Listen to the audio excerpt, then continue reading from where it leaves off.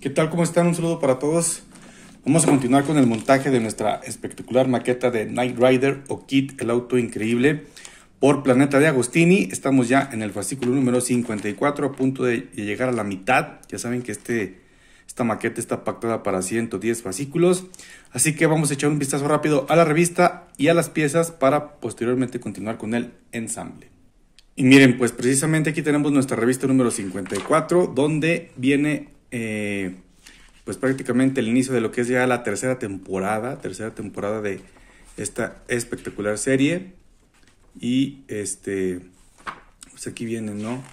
Eh, el elenco y algunas de las características de kit. Aquí está la guía de montaje. Vamos a armar el servo y el depósito de líquido de frenos en el panel de cortafuegos. Aquí está, parece ser algo muy sencillo. Vean, este ya es el resultado. La verdad es que parece que no es nada complicado.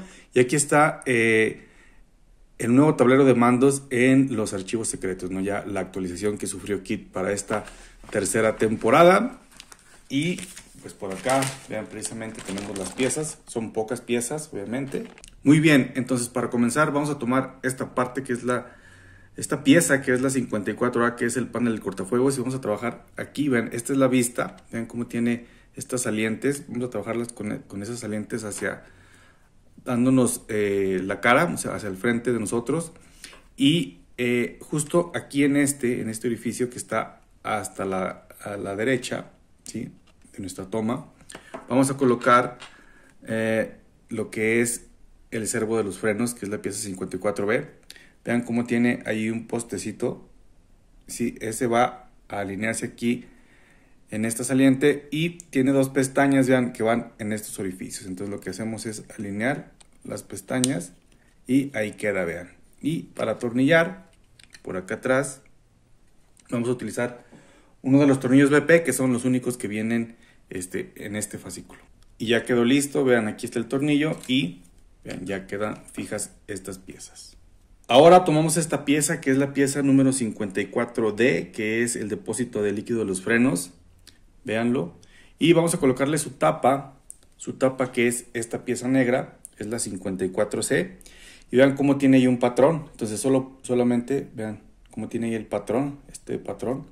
Es para insertarlo, vean, ahí queda, solamente queda de un modo. Y para atornillar vamos a utilizar otro de los tornillos marcados con las letras BP. Vean, aquí ya tenemos listo el tornillo y ya está listo también nuestro depósito de líquido de frenos con su tapa. Ahora vamos a tomar esta pieza que es la 54E, que estamos hablando de el, el cilindro maestro de los frenos. Vean, la posición va a ser esta. Vean cómo tiene el corte. ¿Sí? Vean. Aquí hacia la izquierda está la parte como que más levantada. ¿Sí? De, de nuestro depósito de los líquidos de, frenos, viéndolo, o sea, teniéndolo boca abajo, digamos. Y precisamente ahí vamos a colocar, vean, de esta forma, vamos a colocar el cilindro maestro de los frenos. Este entra a pura presión, a pura presión. Si ustedes lo desean pueden eh, aplicar un poco de pegamento, pero no es necesario, vean. Y así nos va quedando. Así nos va, nos va quedando. Y ahora esta saliente vamos a volver a tomar eh, en la muesca cuadrada aquí del servo de los frenos. Lo vamos a llevar con la tapa hacia arriba y este también únicamente lo vamos a colocar a presión. Igual si quieren pueden colocar un poco de pegamento de contacto, pero vean, no es necesario. Vean, ahí está y así nos queda. ¿sí? Así nos queda.